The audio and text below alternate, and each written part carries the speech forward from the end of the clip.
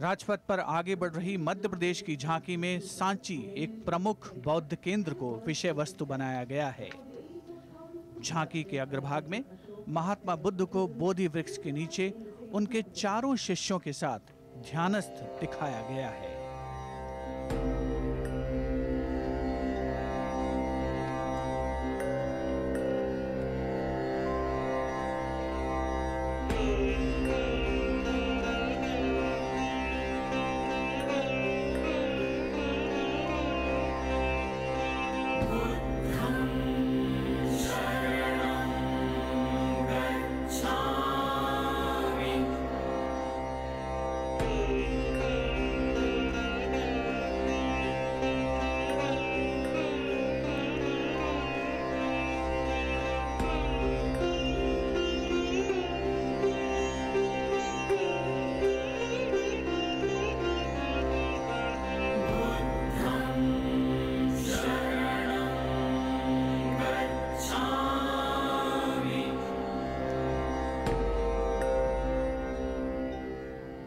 उनहत्तरवें गणतंत्र दिवस के अवसर पर देश की समृद्ध सांस्कृतिक विरासत की परंपरा को आगे बढ़ाती अगली झांकी त्रिपुरा से जहां हस्तशिल्प सौंदर्य लालित्य कला और उत्कृष्ट संरचनाओं के मनोरम संगम को प्रदर्शित किया गया है